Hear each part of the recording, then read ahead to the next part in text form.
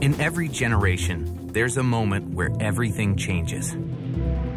A breakthrough that ushers in a new way of doing things and ensures the world will never be the same again. This is one of those moments. Introducing GE Additive, a new business that represents GE's passion for the industry and its tremendous potential. Its capacity to make complex parts that were once impossible to produce, to speed up the manufacturing process, and open up a whole new world of design possibilities. At GE Additive, we're leveraging digital industrial capabilities and new technologies to accelerate innovations across industries.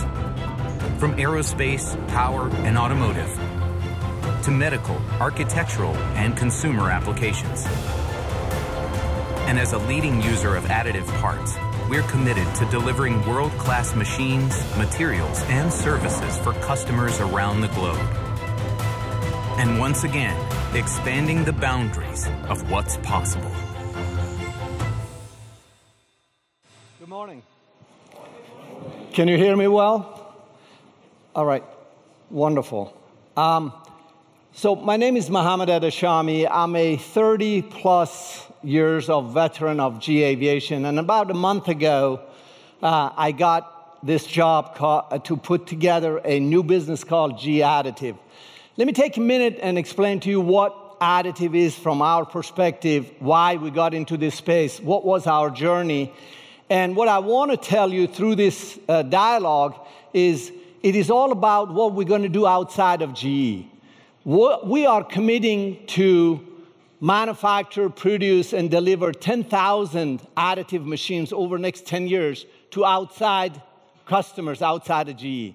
In addition to doing the, the needs of GE itself, which will be a thousand or something like that machines. But we, we look at additive as transformational. Why? Because additive is where digital and physical come together. And I will walk you through how we got here and why we see such an incredible opportunity. As you are aware, we are in the process of acquiring two fantastic companies, Arcam and Concept Laser, and they're going through the, the legal procedures, and very soon here we will um, announce their acquisition. So those two companies, plus all the other technologies that we've done inside GE that I will share with you, will sum up our journey and why we want to go where we want to go. So if you if you if you look at inside GE, there are several industrial businesses inside GE, whether it's power generation, our aviation, transportation, oil and gas, or healthcare. Inside GE, we've been playing with the idea and actually demonstrating and certifying and producing additive parts for about a decade or so. And how we got here is very interesting. I'm going to take you through one journey in GE Aviation, which is dear and near to my heart. So, what you see on the screen here is the GE Aviation LEAP engine fuel nozzle.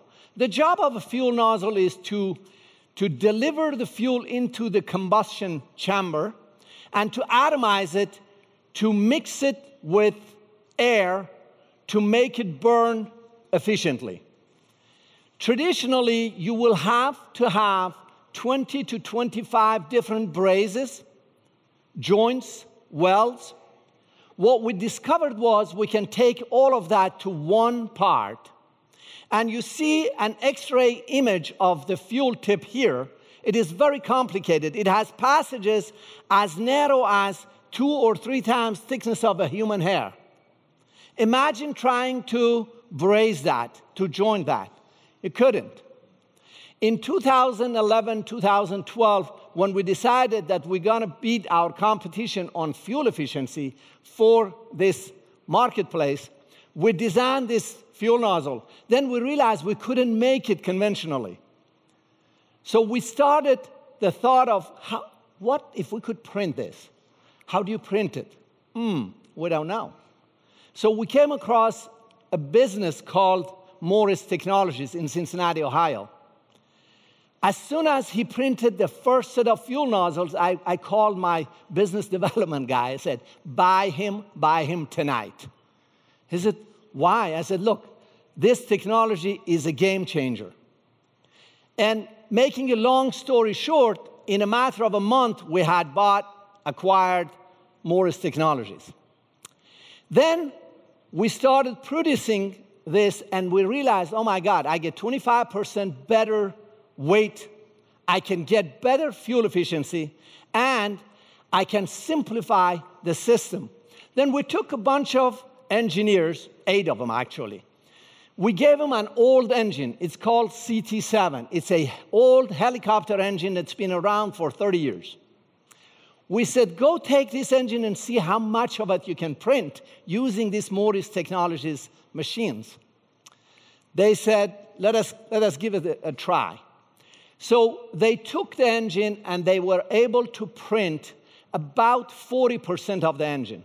They took 900 parts, reduced them to 16. Of the 900 parts, we took 30% of the weight out. We took 40% of the cost out.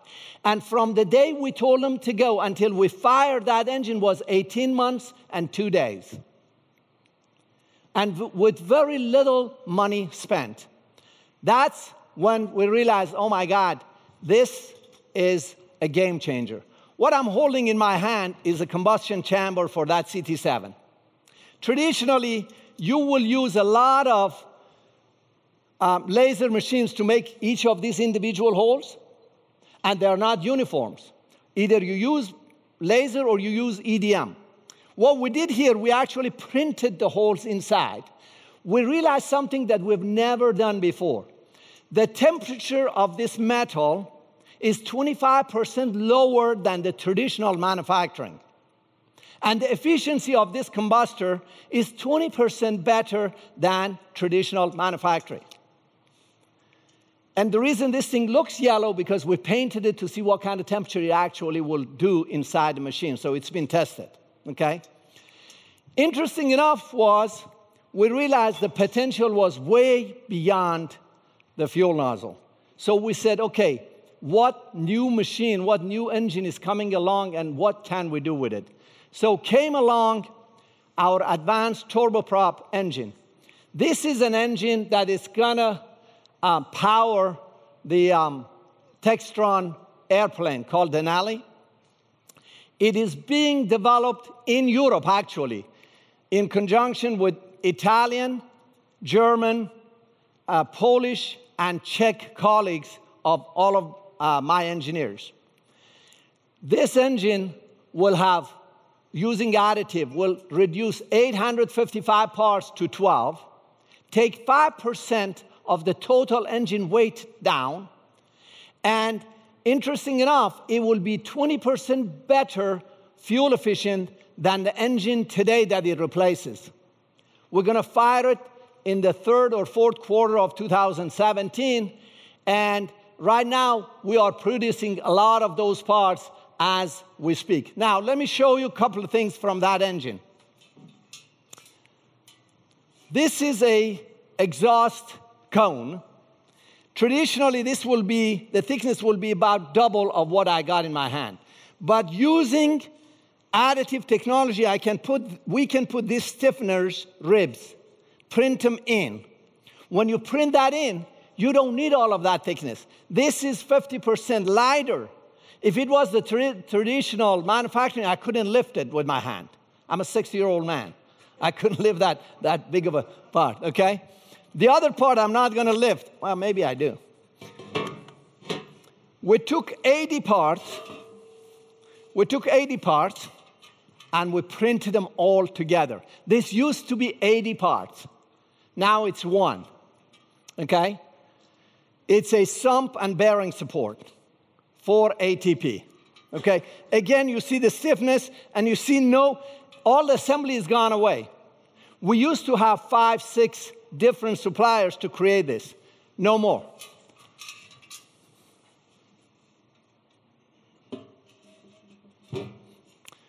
Want to make sure I didn't drop it. So, one other thing came along. Traditionally, we do a lot of big casting for aviation engines front frame, mid frame, rear frame. Our supplier called, said, Mohammad, when are you going to order your castings for this machine? I said, I don't think we do. I said, Are you crazy? I said, No, we're going to print it. And that is the game changer. That's the revolution for us. Okay? As I speak in front of you, the fuel nozzle is in production. It is on A320 Neo that's been flying around the world for the last four or five months. It will be, and it is actually testing for 737 and for Chinese C919. We also have a, a, sensor T25 for our GE90 in production, and we got two other parts for other people that we print that I'm not allowed to tell you that they are also in production. Okay? Now, when you, when you do look at aerospace, you see one opportunity. Then we started looking outside of GE. What you see on the screen here is a acetabular cup. It is a hip replacement for human being. Okay? And I got it here actually.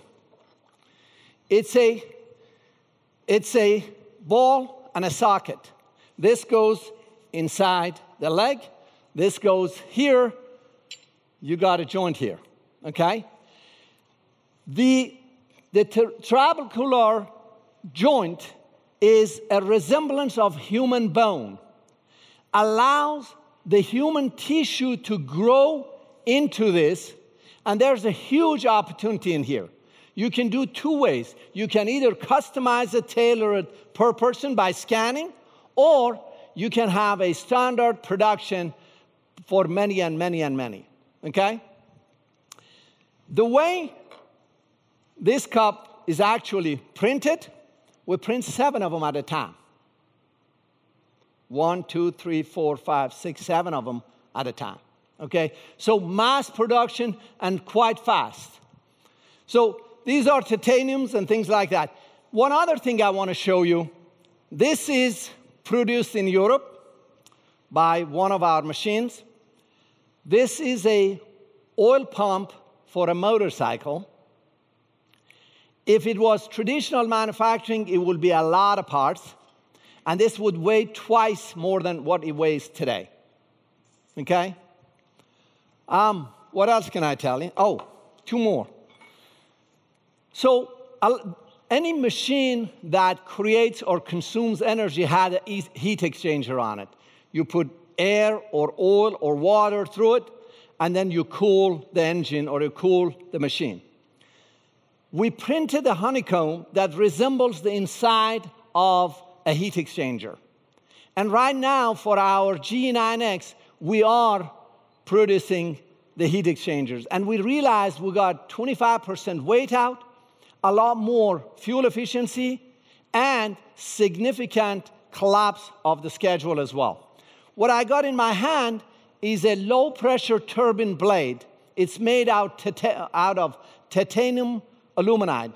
It is produced by our Avio Aero team in Cameri in Italy, okay?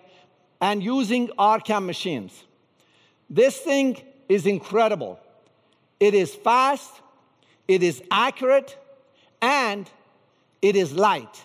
It takes a lot of the weight out. For, for flying engines, you need a lot of lightweight. Sorry, guys, with the with a sound.